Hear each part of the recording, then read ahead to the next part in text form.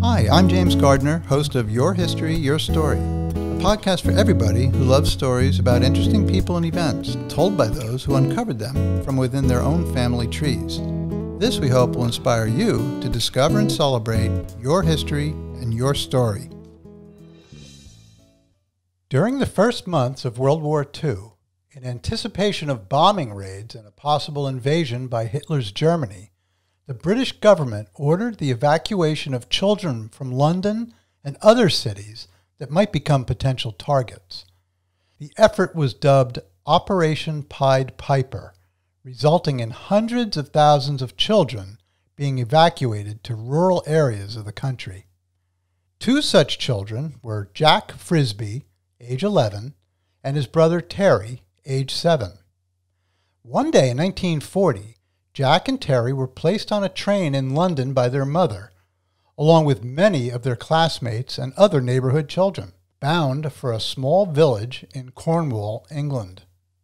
Once in Cornwall, they were to be placed with an unknown host family.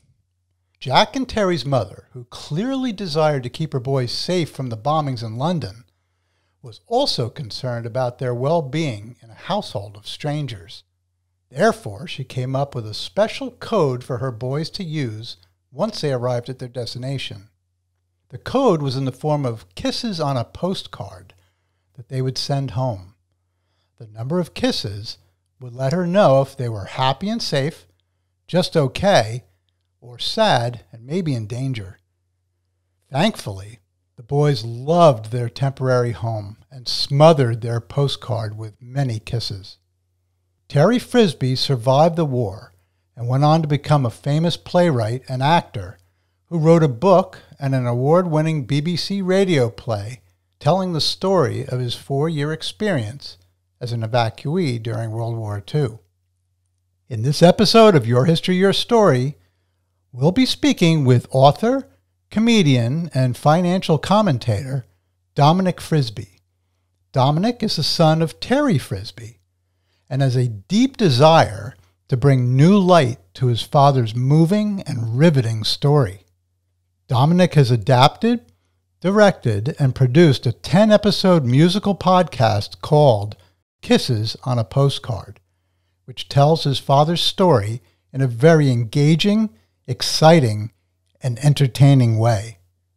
I'd now like to welcome Dominic Frisby to our show. Welcome, Dominic. Thank you very much, sir. Pleasure to be here.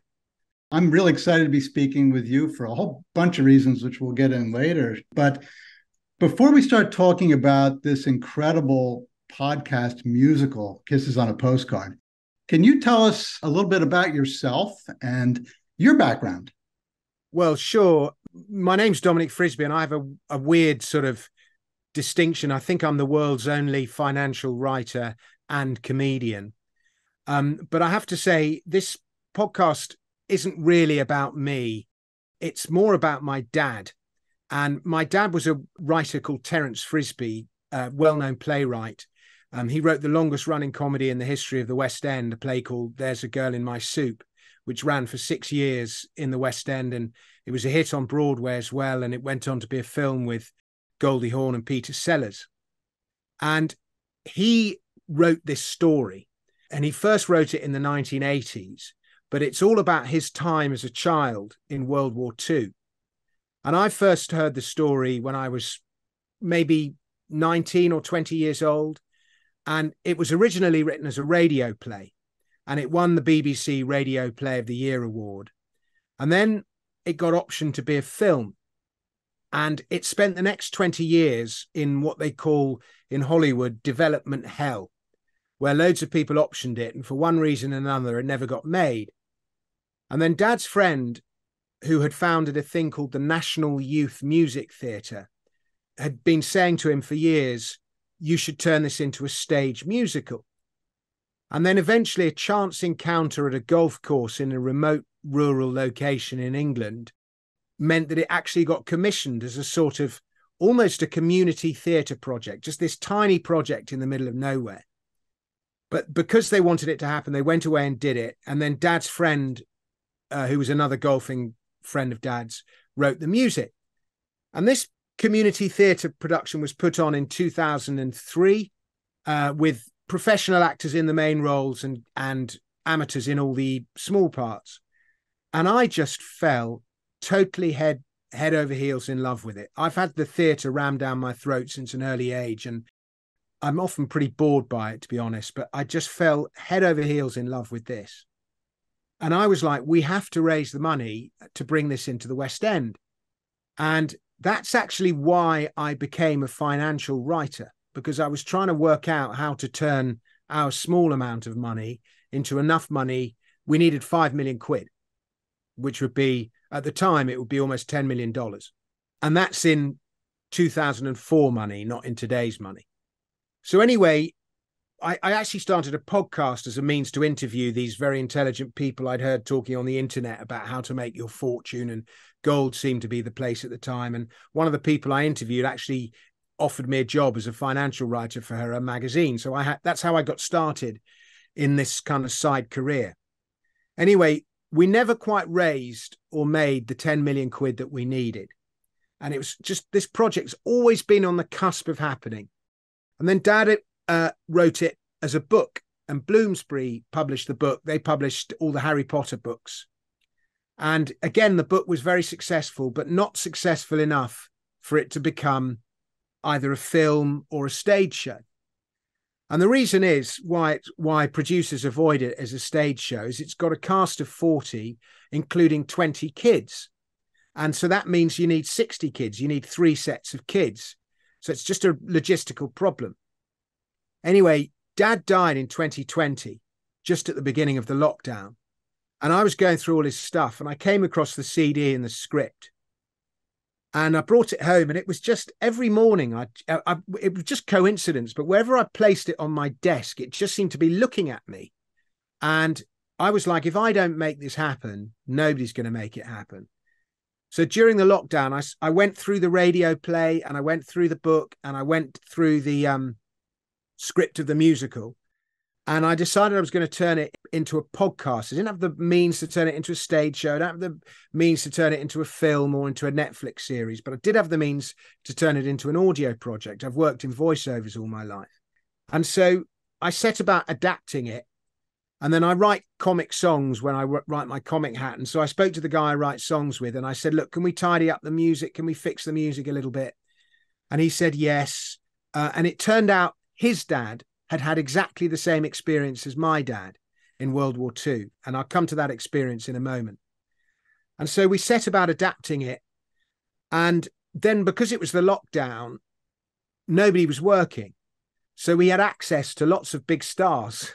and um, so in the main role, we had a guy called John Owen Jones, who's a Welsh actor, who was Jean Valjean in Les Miserables and he was the longest. He did more performances in the Phantom of the Opera than anyone else. And we've got all these big names. Anyway, and we then had a lucky break because we had a problem with one of the studios. And at the last minute, I phoned around all the other studios to see if we could get a replacement. And Abbey Road, where the Beatles performed all their stuff, had had a cancellation and they offered it to us at cost. So we ended up recording the whole thing at Abbey Road.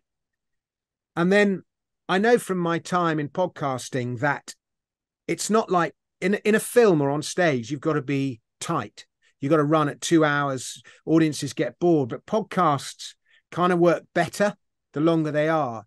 So we ended up turning this into a 10 part serialized musical podcast. And there's this thing called the New York Festival Awards. I don't even know what they are, but apparently they're like the Oscars of radio. And we won silver there. So it's it's done really well. But yeah, so we created this 10 part serialized podcast called Kisses on a Postcard.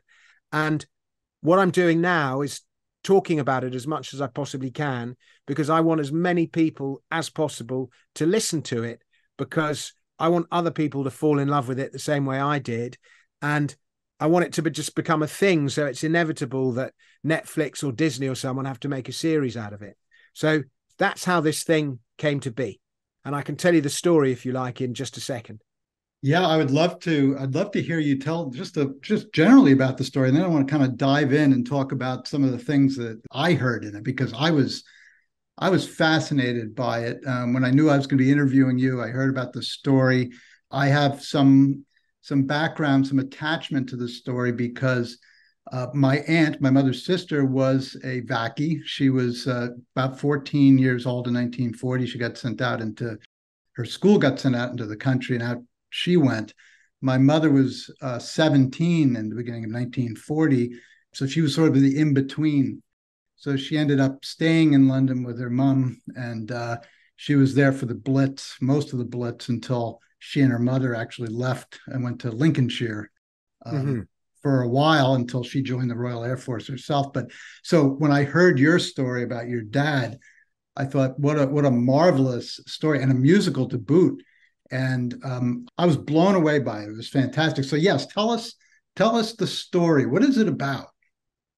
Well, Dad was a small part in what was a huge historical event, and this was it was 1940. So World War II was now well underway, and there was the famous evacuation of Dunkirk, where all the British soldiers had retreated across the Channel, you know, helped by all the citizens in boats to get them back home. And we knew, Britain knew that Germany was about to bomb Britain. The Battle of Britain is about to begin, was Churchill's famous line. And we knew that they were going to bomb all our cities and they were going to bomb them, our cities to hell. And so this directive came out from government that every child who lived in the city was to be evacuated to the countryside. And it was the biggest movement of people in British history. Somewhere between three and a half and four million children were evacuated. But they weren't evacuated with their parents. Your parents could only come if you were under five. So you can imagine the incredible wrench that this will have had across the country. And my dad was seven, and his brother Jack was 11. My dad's name was Terry. And, you know, you can imagine just putting your seven year old and your 11 year old child on a train, saying goodbye to them, and never knowing if you would see them again. And this is what happened to every family who lived in a city in the UK. So my grandmother, my dad's mother, tried to turn the whole thing into an adventure for them. So she said to them, I have to say, nobody knew where they were going how long they'd be going for, and who'd be taking them in. All they knew is that they were going. You did not know if you would see your kids again. And from the kids' point of view, they didn't know if they'd see their parents again. I mean, it's just such a wrench. It's unbelievable. But as I say, dad was seven and his brother Jack was 11. And my grandmother, their mother, tried to turn the whole thing into an adventure for them. And she did that by giving them a postcard. And on the postcard, she gave them a secret code, like the Secret Service. And on the postcard, it was written Dear Mum and Dad, arrived safe and well, love Jack and Terry. And the kids were, Well, what's the code? And they were to write the address of where they ended up on the postcard and send it home. And if it was horrible, they were to put one kiss. If it was okay, they were to put two kisses. And if it was nice, they were to put three kisses, XXX. And so that was their secret code. And then mum would know. So mum then took the two boys. They each had a label tied round their neck with their name on it. She gave them some sandwiches, packed lunch, change of clothing in their rucksack, gas mask, and she walked them down to the station along with everyone else in their school. And they were put on this train in southeast London, and the train pulled out of the station, and all those mums and dads were standing there on the platform waving goodbye to their kids, never knowing if they would ever see them again. I mean, what an emotional moment. And the train then went all the way across London and gradually made its way all the way across the country to the southwest corner of England, a place called Cornwall, which is one of the most remote parts of the UK. If you look at a map in the UK, it's in the bottom left hand corner, in the southwest corner. Five, six hour train journey from London. They got out of the train, and of course, in those days, people had much stronger accents. There was much more regional diversity of accent and everything else. And they got off the train, and they were 50 of them, ended up in this tiny village in the middle of nowhere, where they were herded into the village hall and made to stand in the village hall. And all the locals stood round them. And the expression at the time was, I'll take that one there. Mm. And they were each chosen at random by some local. And that was where they would then spend the war, the next four years. And dad had been given instructions not to leave his brother, they were to stay together. So every time somebody tried to pick one of them, they'd go, No, we're staying together. And eventually they were picked out by this Welsh couple who had moved down to Cornwall. He'd actually been a soldier in World War One and he'd been the only he'd been involved in in the Battle of the Somme in a thing called the Mametz Wood Massacre, where only 17 people had survived, and he was the only person from his village had gone home. And because he was the only man who went home to his village and the only man who came back, they ended up him and his wife ended up having to leave the village because of the way that everyone looked at them. And that's how they had ended up in Cornwall. And he now worked on the railways. Dad and his brother my granddad worked on the railways and they were obsessed with the railways. They loved trains, steam trains, like a lot of kids did in those days. Mm. Anyway, this couple took them back to their house. They lived in a tiny cottage in a row of cottages right by the railway. And they lived there with their, their own son, Gwyn, who would have been about 20. He would eventually go off to fight in the war himself. And they were taken into this tiny cottage. There was no electricity only gas lights. There was no lavatory. The, the lavatory was a little privy in the back garden. There was a pig and chickens in the back garden. In the house, there was a, a fire and a cat asleep by the hearth. There was uh, a canary in a cage. And outside, there was a river to dam and the railway and woods to explore. And the two kids thought they had died and gone to heaven. They absolutely fell in love with this place. And this first song that I'm going to play you now is the two boys on their very first night in the cottage. It's about 20 minutes, maybe half an hour into the story. The two boys deciding how many kisses to put on their postcard to send home to mum. And I should say the couple that took them in, just by way of exposition, were called Auntie Rose and Uncle Jack, and their son was called Gwyn. And here are the two boys discussing where they've ended up. How many kisses? I vote three. What would Mum and Dad think of it here? Don't know. No electricity. They wouldn't like that. I don't care. There's no bathroom. I don't care.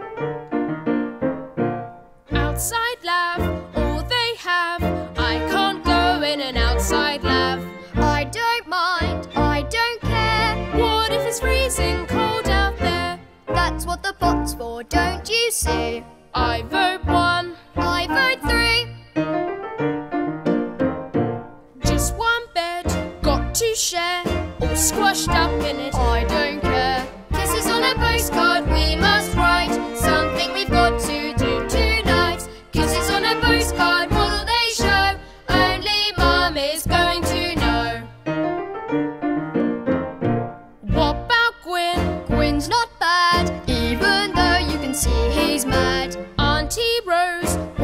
Say? She says weird things, but she's okay. Not Uncle Jack, though, he plays rough. Pulled my hair, called me scruff. Kisses on a postcard, what'll we do? I still say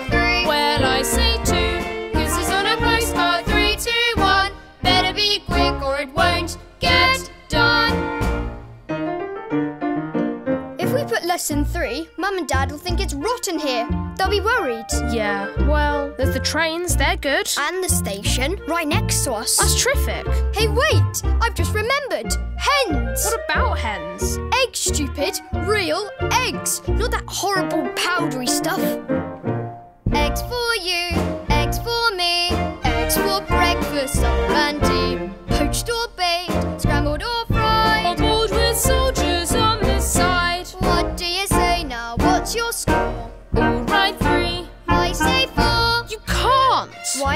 Mum only said up to three. But don't you see? The more kisses we put, the more happy they're going to be. Yeah, it's terrific here, really, isn't it? Like being on holiday, only there's no sea. We don't have to stop at four. Let's do hundreds. Yeah! Kisses on a postcard, one by one.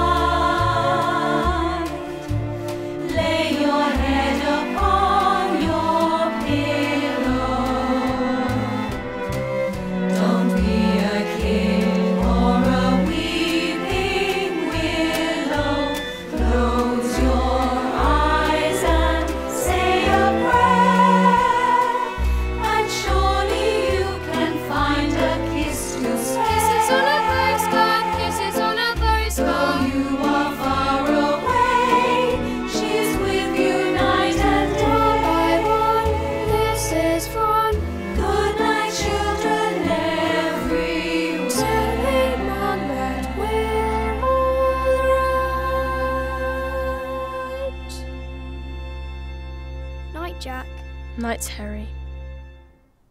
Look at them, fast asleep, and they've covered the card in kisses. Night, night, boys. Wow, that is incredible. That is such an amazing song, and it really sort of sets up the whole story, doesn't it? It does. And and that second part of the song that you heard, Good Night Children Everywhere, it's the only everything else in the musical is original or folk music. But that song, Goodnight Children Everywhere, is the only original song from World War II that we used. And it was sung by Vera Lynn, who sang a lot of British songs at the time. White Cliffs of Dover is her most famous one. But the BBC played it once and they had to ban it because so many people complained, not because it was offensive or it had swearing or anything like that, because of the emotional turmoil that it caused. But it was so apposite, we ended up including it in the show.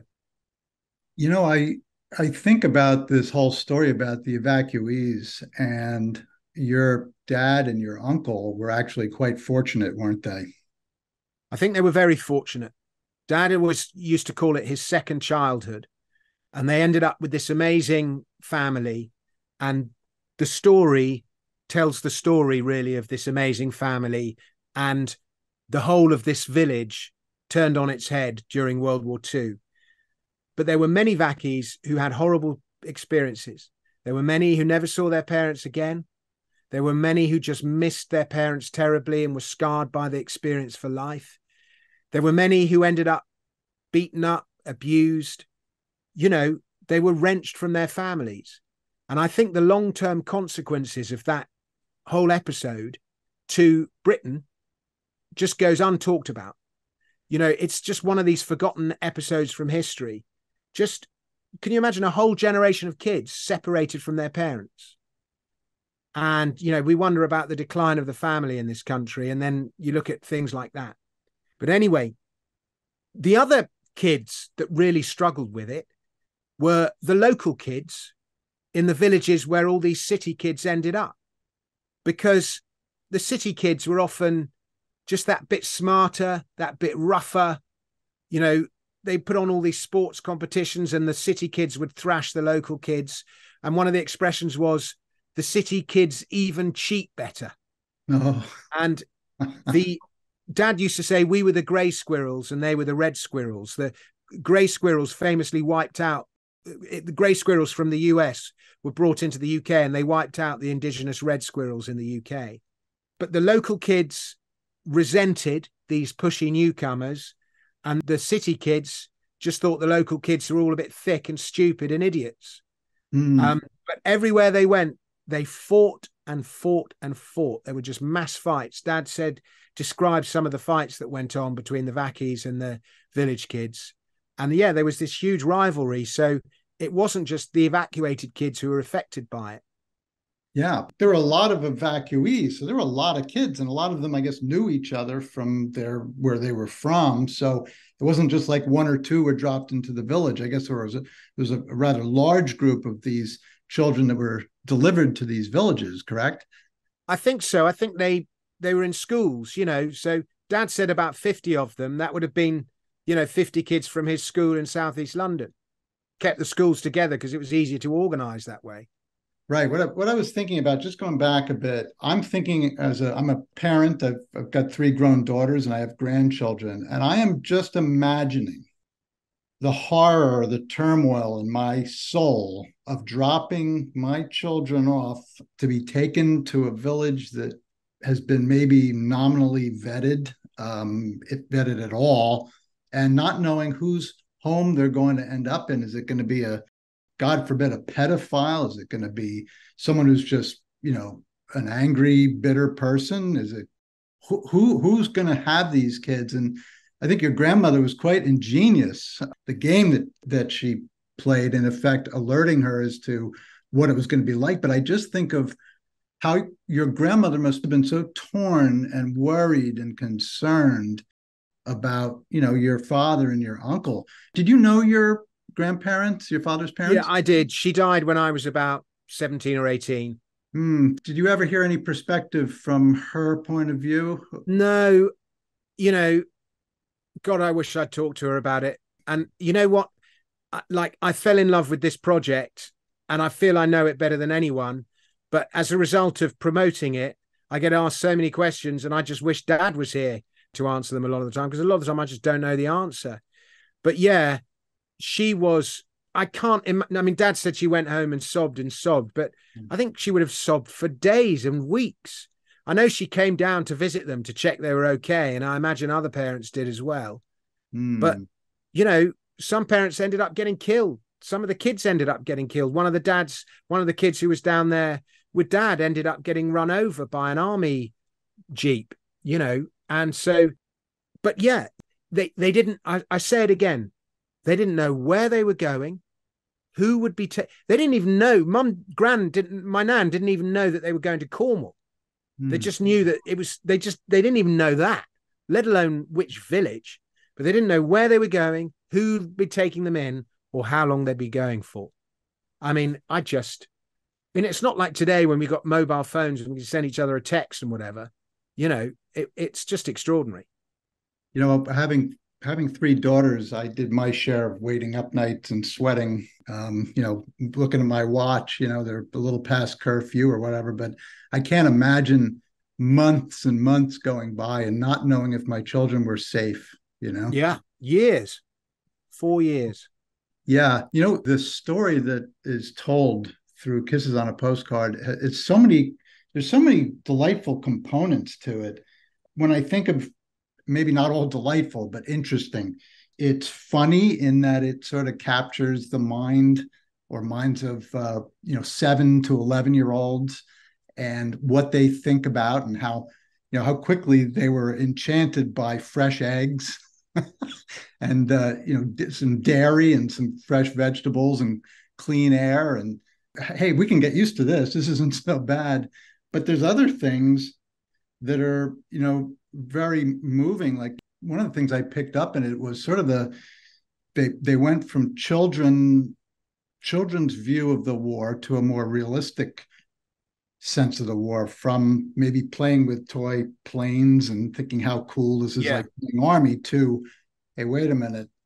There's you know they witnessed the bombing. They were in in part of your podcast. And one of the stories is they do. They they're involved in a very scary real upfront contact with the war can you comment on that a little bit dominic Yeah, well, I think in those days, soldiers were a bit like the sports stars of today.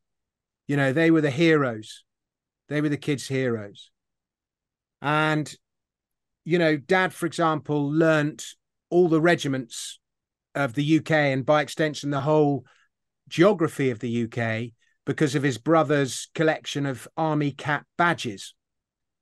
And you know, he learnt from they used to play with dinky toys. I don't know if you had dinky toys in the States, but they would be little steel, well, maybe not some kind of metal tanks and aircraft and so on. Mm-hmm. And so that's how they would n- learn the names of all the fighter planes and the bombers and the tanks and all the rest of it. And they actually, you know, it was all in their imagination. And then there were a couple of times when they came into contact with the real war. Mhm. And one of those times was the nearby city of Plymouth, which is about 20 miles away from where they were staying. Plymouth is a port on the south coast. It's where Sir Francis Drake famously sailed out from to fight the Spanish Armada. I'm sure you've been taught that Mhm. story in school in the States at some point. And I think it's also where the Pilgrim, um, what's the ship with the Pilgrim Fathers on? it? I think that Mayflower. might- the Mayflower might have sailed from Plymouth as well. Mhm. And um, but anyway, that's where the British Navy had many of its ships docked, and so it was a target for the Luftwaffe. And Dad was actually in Plymouth on a shopping trip with Auntie Rose, the woman who was looking after him, when the Luftwaffe famously razed Plymouth to the ground and just bombed it for three days. And you know, suddenly bombs going you know they they hid in a uh, in a railway shelter on the railway underneath the ground but the sound of actual bombs going off and you know a lot of the time when you see violence it's actually the sound of violence is what shocks you Mhm. and you know but he says the sights and sounds of the real war as opposed to what was happening in his imagination with his toys that was a big reality check. And then they all went they in the day they all went back home to the village. And then they stood on the local hillside on the tor and just watched plymouth being bombed. And he just said there was this red the whole city just had this permanent red glow. And it was just beyond the scope of the fire services to put it out. They just couldn't put it out. It was too much fire. And it just glowed for a week and he, i think he said like a false dawn or something he described it as. And then they're looking at plymouth have the absolute shit bombed out of it excuse my language Mhm. and thinking crikey that's what's been happening to our parents in london. Are they okay? So that was one example of how they you know the kids came into contact with the real war. And it's all described in the story as as well you know with uh you know quite dramatically it is you really do feel present in the situation. And when you mention about the the bombs uh, dropping in Plymouth while your father and uncle were in in the city with with their aunt Rose and I put myself in Aunt Rose's position. You are somebody who is a caring loving person who has in your charge these two young boys. And the situation you know gets out of hand completely out of her you know ability to control it where you know your uncle runs off to find something that he had a, a toy knife i think it was or a knife. Yeah. And not to reveal too much of the story but the terror that she had to that she's responsible for protecting these boys. They've been sent all the way to cornwall to be protected and she could have lost them in one one shot on a day shopping trip into plymouth. I felt her terror um, Yeah.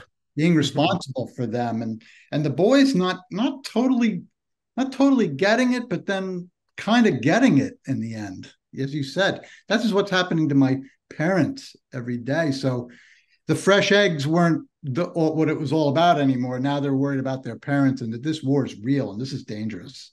Yeah. It's a great episode in the story.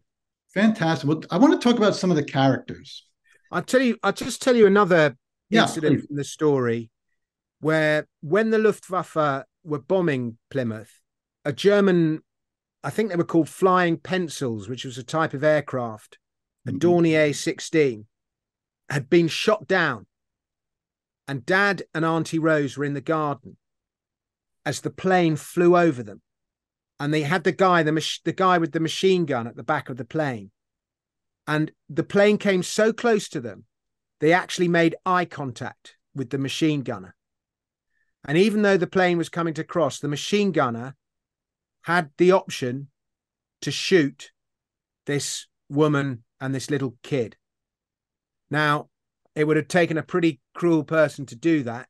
Mm. and I'm, I don't even know what the laws of war are. I don't think you can shoot a, uh, an enemy civilian, but they are still enemy. But anyway, the the plane crashed just over the hillside, and everyone on board the plane was killed. But Dad said he was haunted for weeks after by this, you know, the look on this young man's face who was the same age as Gwyn, the person they were staying with, maybe 21 years old, who had decided not to shoot him.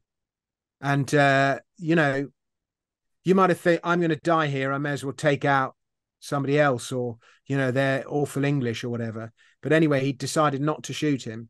And then seconds later, he lost his own life as the plane crashed. Yeah, that was a very emotional scene in, in the podcast that was uh, yeah, very powerful. And you know, I'm thinking about the characters in the podcast, how you develop them so well. Let me talk to your creativity. So your dad wrote this story. It had been made into a stage play, but the the development of these characters and the voices and the dialogue is so rich. Where did that come from? How did you develop that from your dad's story? Oh, he wrote it all. All I did was collate it. The characters are all created by dad. The dialogue was almost all written by dad. You know, when I say, you know, 90%, 95%, the one area of creativity that I brought to it, uh, aside from collating it all and producing it and realizing it and directing all the actors and all that kind of thing, but from a writer's point of view, about half the songs um, I composed the words and my friend Martin composed the music. So a lot of the songs you hear are written by me, not the song you just heard, "Kisses on a Postcard," but a lot of the other songs are written by me. Um, but uh, but the the actual characters and the dialogue that was all Dad. Most of them are true people from his life. I mean, obviously he's dramatized it a bit, but you know, Yeah, the the characters they're all wonderful characters, but some stand out to me, and one of them is Uncle Jack. he's the best. He's a complicated man. He's but he sounds like somebody I would really like.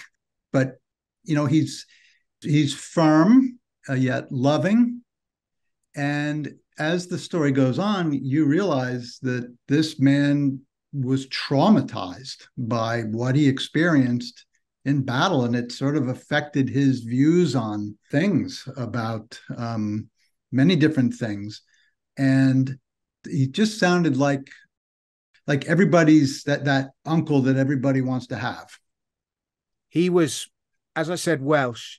He was only about five foot two, five foot three, tiny man. And in World War One, I, I think you had to be above five foot six, maybe, in order to get into the army. Mhm. But then they started losing so many men, they started allowing the small people in. But Mhm. in, anyway, he was in a regiment called the Welsh Bantams, Mm. and I think they were all under five foot four. I might have got those those numbers slightly wrong, but anyway, they were all short. And they famously, in the Battle of the Somme, came up against the Prussian Guard, who were all beautiful German men above six foot in height. Mm. And when he was, you know, the, the soldiers from that war, they didn't talk about it, but Jack and Terry pestered him. And eventually he told them some of the stories of his time in the trenches. And they said, How can you, if you were, you know, they said it's unfair that this regiment of five foot four men should come up against a bunch of guys who are all over six foot. To which Uncle Jack said, No, everyone's the same height when a bullet hits him. He's horizontal. Mm. And Uncle Jack had worked in the mines, in the coal mines of Wales, and then he'd gone out to fight in this war. And if you Google it, you can find out about it. It's a thing called the Mametz Wood Massacre. And he was where this Prussian Guard met the Welsh Bantams and they just blew the crap out of each other. And only 17 of them survived. It was one of the great massacres of the Somme. And so Uncle Jack experienced that and he went back to Wales. And as I say, he was the only man who, who came back and eventually had to leave Wales and he went to work on the railway. And in those days, we, we were at a time when socialism in the UK or very left wing was on the rise, workers' rights, you know, it was on the rise throughout all of Europe, communism as far east as as, as Russia. But it, you know, fighting for no more exploitation of the worker, and he was very left wing, very anti-authoritarian. One of his lines is never, never, never, never, never trust your leaders.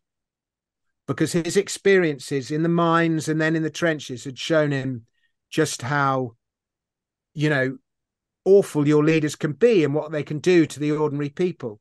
But he said he would, Uncle Jack would lose his own son, Gwyn, would end up being killed in Sicily. So he lost his own son, his only son. And he would say, Churchill's a hero, Montgomery's a hero, Gwyn is dead. And it's not just this war or the last, it's all history. Into the valley of death rode the 500. Who sent them there, eh? Mm. So he was a very, and the outlet for all that anti authoritarian sentiment um, was, you know, the left wing. And a lot of the people who were left wing in those days would become atheist. Mm. And he became very atheist as well. And I'm not surprised after what he experienced. But at the same time, he loved singing and he loved the church and he Mm. loved all the beauty that comes with religion. And he was a deeply passionate and philosophical man. But I guess he had to go through so many of his own horrors that he was always at loggerheads with the vicar, arguing about the church and all the rest of it. But really, when I look back at it, I think Uncle Jack is my dad. I think he wrote it to be, it was the vehicle for him to say all the things that he really thought. Mm. But I think if you look at great characters in literature and in drama, Uncle Jack is one of them. Yeah, there's a scene where you know, Uncle Jack's sitting in the garden. I guess it was after he found out his son passed away, and uh, that's a very moving, It's a great scene. great, great scene. I, I I'll let people listen to it to really appreciate it. But uh, there were some, you know, Aunt Rose is delightful. She's uh, just a, a loving, nurturing person. But it's funny they're they're nurturing and and loving, but you know they they have rules. Oh, What I- yeah. Rules are important. The other thing, what I And what I- values. deep values and they always want the boys to you know never talk bad about their parents and it was just a nice structure a nice family structure i think that the boys were thriving and even though they were away from their own family but you talked about values. One of the Yes. things, like Dad was always very bright, and he got top marks in the whole school, like several years before he was in the final year. Whereas his older brother Jack wasn't very bright and would Mm. always get, you know, C's and D's, whereas Dad would get A's. And one time he came back from school and he'd got top marks in everything, but he hadn't got straight tens. There was a couple of places where he'd lost marks. And um, he was obviously all cock a hoop because he'd come top of the whole school. And Uncle Jack turned to him and said, uh, "Why did you um, lose marks?"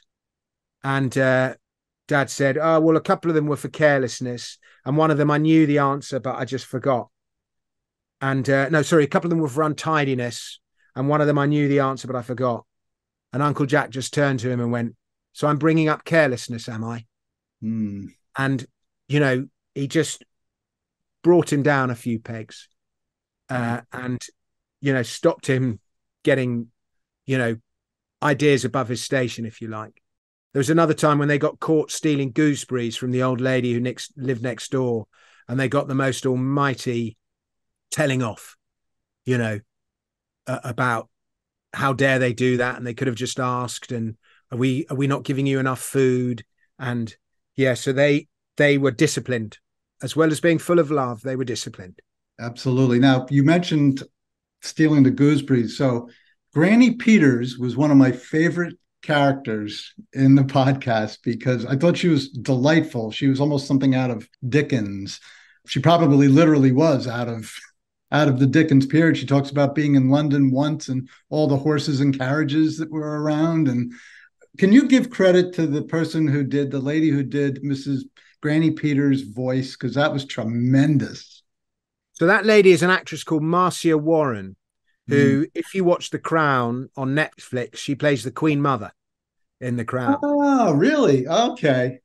and uh, she's a very eccentric older actress. I think she's an OBE, but she's won the Olivier Award twice. And um, I just sent her the script, and she just agreed to do it. And she's just one of the many people who we were so lucky to have. And but yeah, Granny Peters is this sort of mad old lady who lived next door, who had had I think nine children, Hmm. and they'd all I think eight of them had died.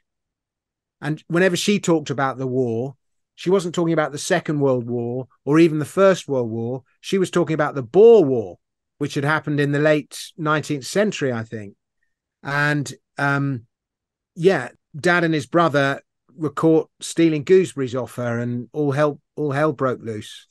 Yeah, you know what? I connected with that story. Uh, first of all, it was charming, and it was it was typical kid stuff, and and then getting the dressing down from Aunt Rose and everything like that. But and Uncle Jack. But so my grandmother was born in uh, Hartley, Westport, I believe it was, and she in Hampshire, nineteen hundred, and what? What? Sorry, tell, tell me that town. Not Hartlepool. Hartley, Westport, that area down there in Hampshire. Um, I don't know it. Yeah, and I think her home was in a place called Heckfield. I've actually visited the home that she lived in. It was a cottage. Her father was a laborer. I think he was the Duke of Wellington's estate. He, he worked for a tenant farmer. But anyway, my mother was a British war bride, and she came to the to the U.S. and married my dad. But my grandparents followed. They came to the United States, so I grew up with my English grandparents, which was really delightful to me because I learned so much. But I remember as a little boy, I was I loved my grandmother's gooseberry jam. Now she didn't make it; she it was imported. She bought it from some shop, and I loved gooseberry jam. And so I, I remember that part. But the other thing is, when my mom was a teenager, she would visit her grandparents down in um, in Hampshire, and there was a, an old lady named Mrs. Giblet. She lived in a cottage next door, and she was like 98 years old. And my mother used to have to go over and sit with her and make her tea and things like that. And she would do that. And my mother would tell me stories about visiting this ancient old lady in a cottage out in the country. So I, when I heard about Granny Peters, I thought about Mrs. Giblet. So I connected to that story. But I thought it was it was lovely. The, the old lady had seen tragedy, had felt tragedy, but she was starved for company, wasn't she? Yeah, I mean, I, I'm very proud of that scene. That that wasn't actually in the in the um, that wasn't in the original musical, but it was in the original radio play, and it was such a good story. I put it back in. It, it was tremendous. And then you, you had some, just a few other things that were in there. First of all, the the American soldiers arriving. that was terrific because I know, I remember hearing the stories. You know, the the Americans were, was it over overpaid, oversexed, and over here? do you want to? Do you want to play? We could play that song when the Americans all arrive. Yes. So the great expression, you know, the Americans all came with their sweets, and the great expression that we asked the Americans, the kids asked them, was "Got any gum, chum?" And uh, yeah, lots and lots of American soldiers came to the village uh, prior to the D-Day invasions, and I'll tell you about a bit about some of those soldiers. But let's just uh, play this song. Hello. How are you? Good day. We're soldiers from the US of A. Pleased to meet you, sir. Pleased to meet you, ma'am. Pleased to meet you, pretty lady. We're here for Uncle Sam. At your service this fine day. Any questions? Please just say. Questions? Loads!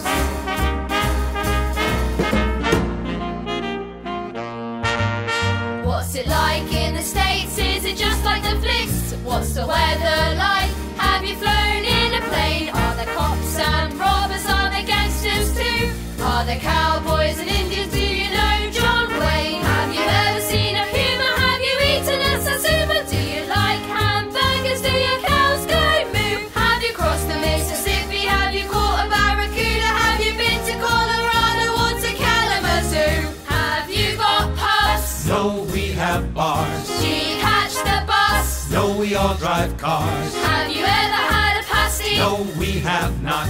Is it true that you if they're hot. Have you crossed the Golden Gate? Have you climbed the Empire State? Have you ever smelt a skunk? Why'd you call a tramp a bum? Do you have steam trains? Can you tell me jump? One last question. Have you got any gum? Got any gum? Chum? We might have some. Any gum? Chum? Now don't all scrum. Any gum? Chum? It sure is yum. You can chew it till your mouth goes numb. Any gum? Chum? This sure is fun.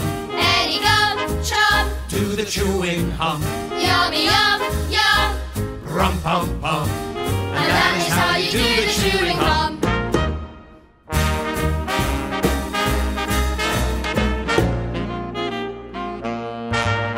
We've got snakes and alligators and our own refrigerators. Oranges and peaches, eagles, buffalo. Bears and avocados, a city called Chicago. Frightening tornadoes, tropics, desert, and snow. We've got rodeos and ranches, grapes upon the branches. We drink lots of Coca-Cola and there's ice to crush. We've got Mormons, we've got Quakers, we've got towering skyscrapers, but no privies for us. Our lavatories flush. Do you drink tea? No sirree. Speak Cherokee? not frequently. Do you play billiards? We shoot pool. Would you like a game of cricket? We don't understand the rules. Do you know Clark Gable? Is Harpo really dumb? Have you ever had a Hershey? Have you hit a home run? Please give me an answer. Can you tell me, John? One last question. Have you got any gum? Got any gum? Chum? We might have some. Any gum? Chum? Now don't all scrum. Any gum? Chum? It sure is yum. You can chew it till your mouth goes numb. Got any gum? Chum? It sure is fun. Any gum? Chum? Do the chewing hum. Yummy yum yum. Rum pum pum. And that is how you do the chewing hum.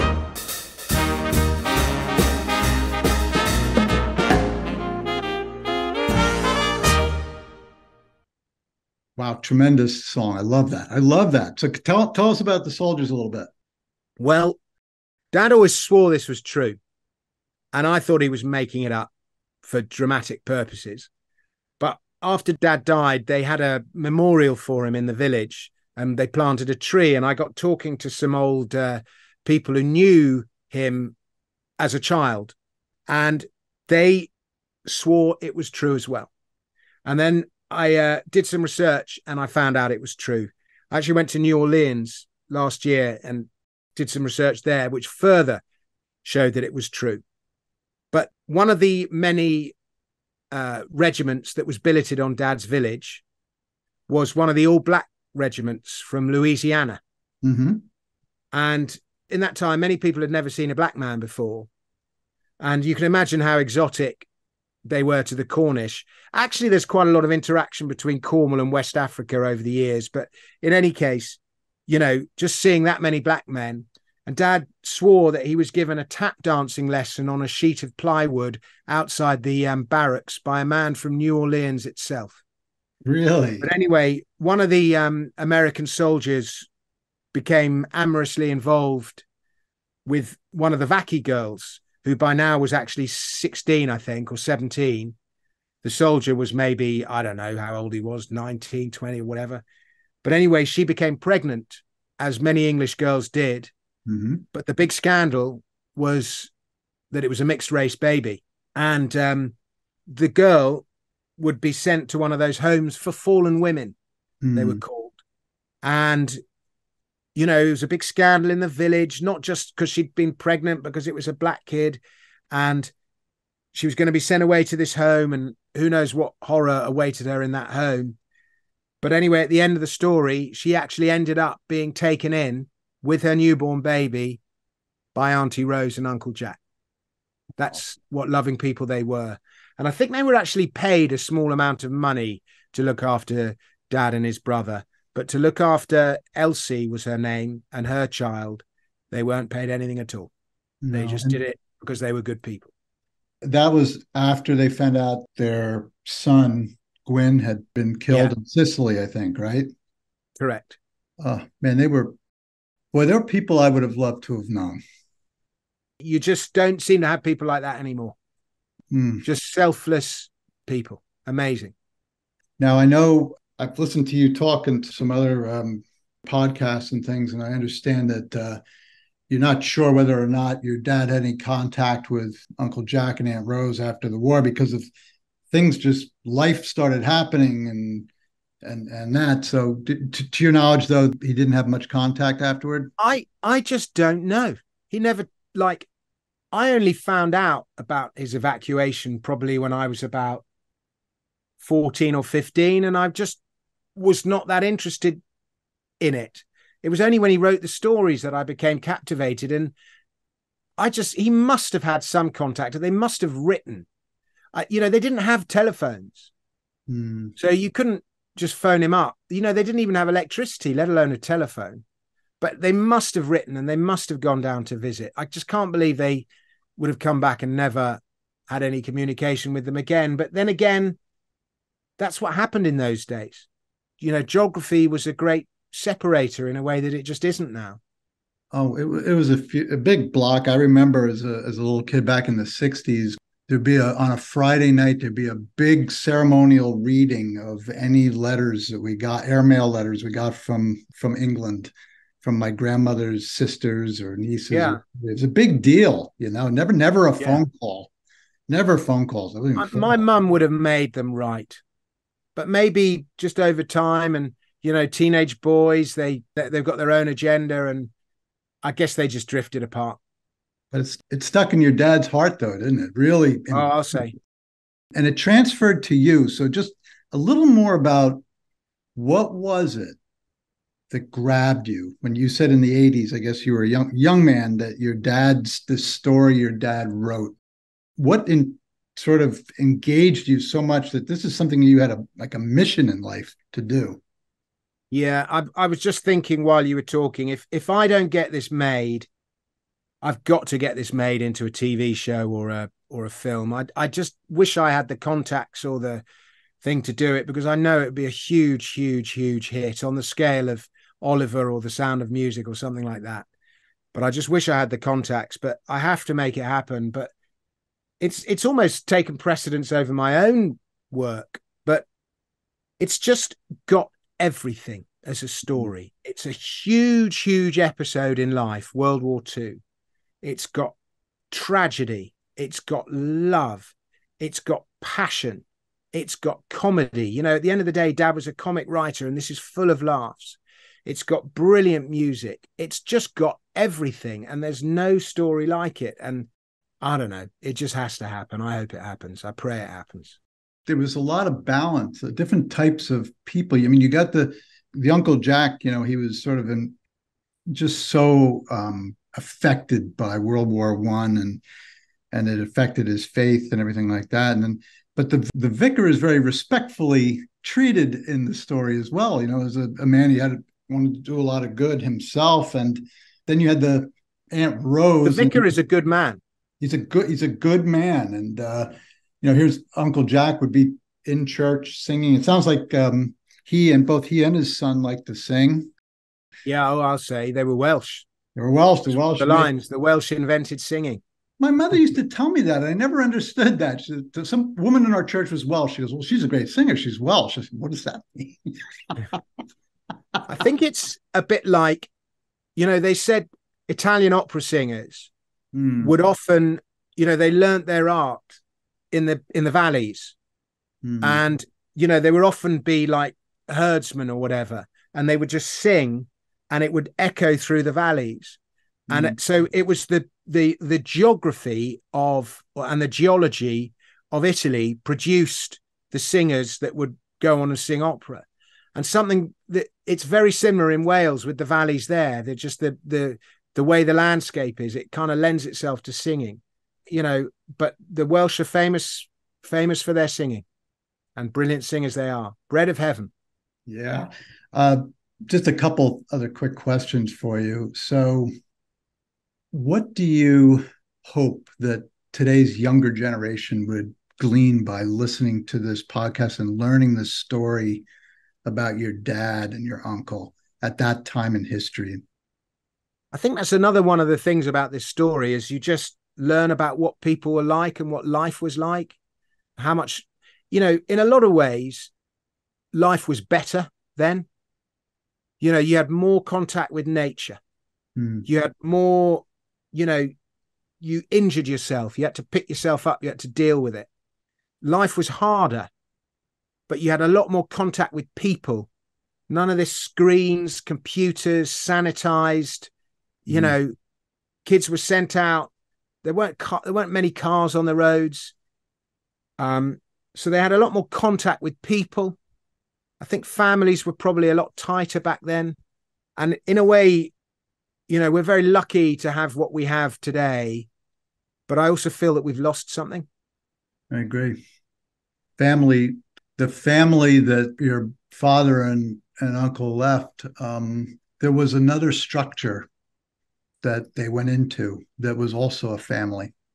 And they were absorbed into the there were the boundaries, there was the the sense of safety and order and trust and truth and value to other human beings that just sort of absorbed them in. And I think that they, although I know your father was undoubtedly affected, as were all of these millions of kids evacuated in, in some negative ways, in, in some negative ways, certainly, but it's almost like they received an education while they were there as well from very well-meaning, good-hearted, solid people who had suffered a lot of grief and hardship and Yeah. you know They did, and you know, the church was around them in a way then that it just isn't now, not in the Mm. UK anyway. And you know, there's so much to learn from the church, absolutely just from the you know singing singing hymns, and you sing those wonderful words every day, and your readings from the Bible and values, and you just learn by osmosis. I know. And my mom, my mom knew her knew her scripture inside and out. You know, I just uh, remember hearing stories about my mom's, you know, childhood. Now she lived in she lived in uh, Kentish Town. Oh yeah, and uh, but I know the church was a bit very big part of the, their cultural life. Really, yeah, yeah. Um, it's you know re- religion has declined and we're we're confronted with a, a a- generation of people who nobody knows what to believe in i'm sure if uh, you, you know you almost don't need to believe in god It doesn't matter god's almost irrelevant Yeah, no, religion serves so many other purposes anyway let's not let's not get on to that Uh, no, I hear you about that. But just to conclude, really, uh, because this has been a, a wonderful conversation, is um, the actors and actresses that you had the show is it's so entertaining. I can't I can't recommend it more. I mean, I loved it because of my historical time, my general love of history. I see so much on TV now, a lot of Netflix programs and things that are historically based dramas. I couldn't think of a better better story to be on a larger, you know, venue to get it out there into a yeah movie, a, a Broadway show or a West End show, as you would say in England.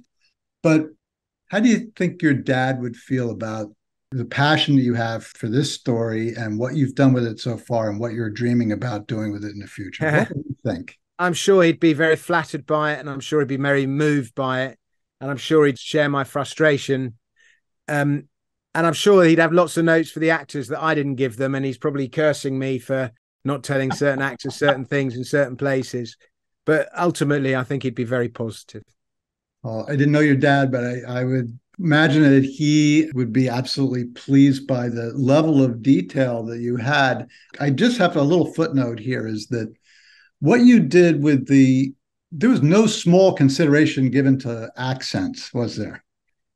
oh i worked really hard Yeah.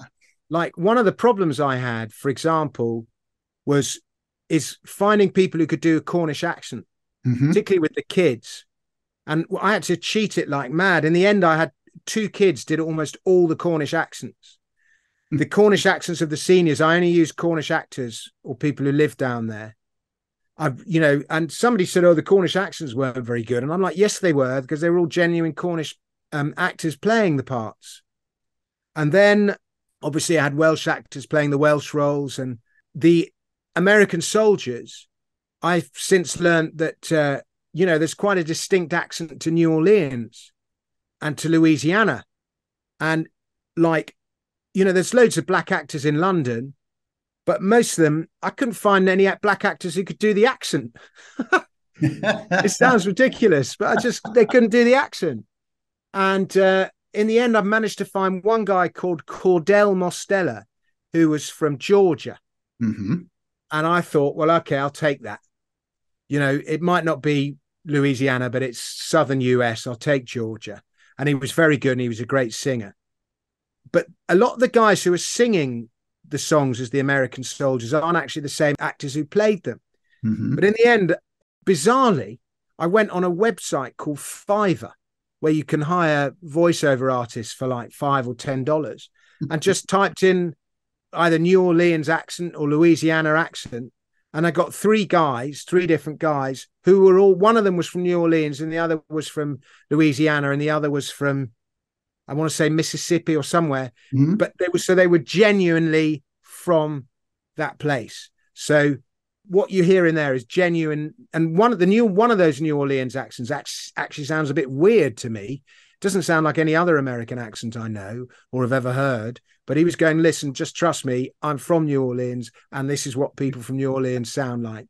And so, yeah. So we had, but I put a lot of. I wanted to make sure I got that right because I, I, I think it when I hear other when I watch films or listen to radio drama and, and the accents are crap, it re- destroys it for me. So I wanted to make sure I got that right. Oh yeah, definitely. I just tell you, it was just a wonderful experience. Just the listening to the accents is just incredible. There's a real, what's the word, landscape of accents in the show. Yeah, the United States is huge. I'm in northern New Jersey. I'm 18 miles west of Manhattan.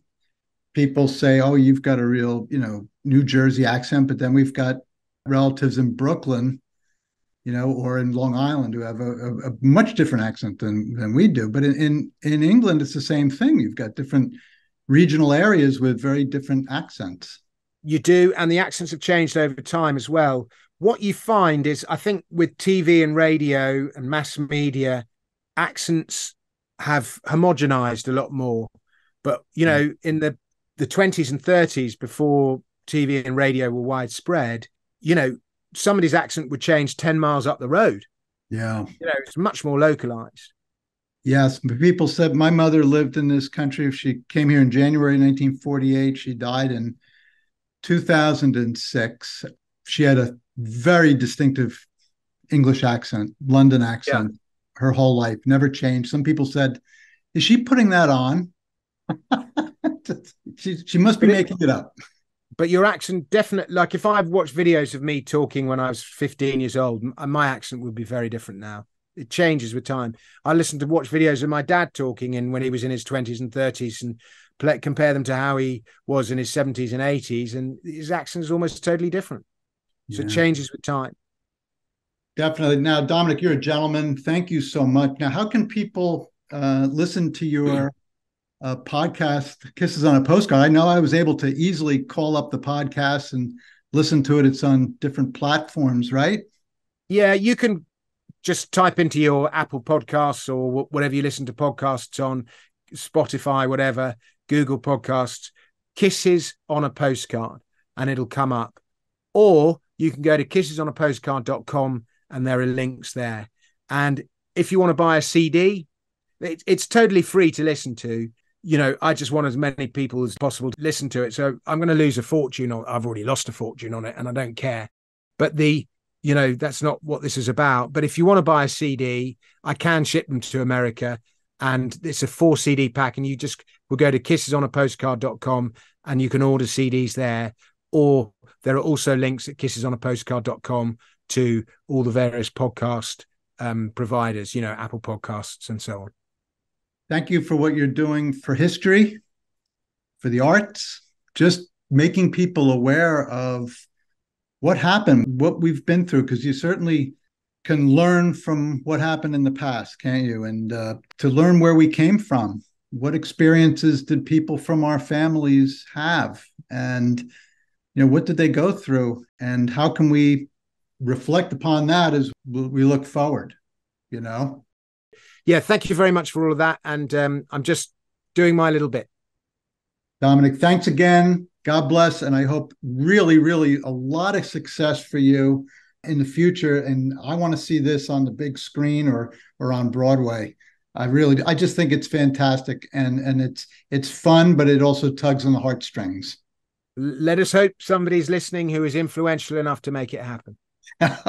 okay. Hope we can help with that. Thank you very much. Cheers. Okay. Bye bye.